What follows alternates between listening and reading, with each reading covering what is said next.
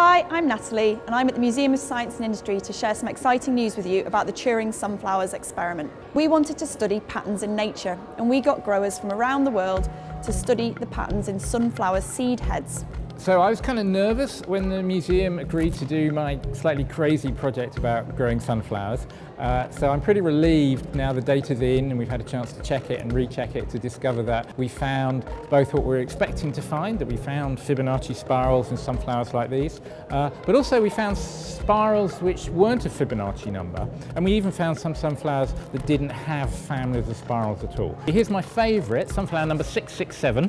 Uh, is fascinating because although there are plenty of spirals in here, uh, the pattern they produce is a long way away from a Fibonacci structure. And understanding how that can arise, even though most of the time you do get Fibonacci number, is part of the challenge to a new generation of biologists and mathematicians studying this fascinating problem.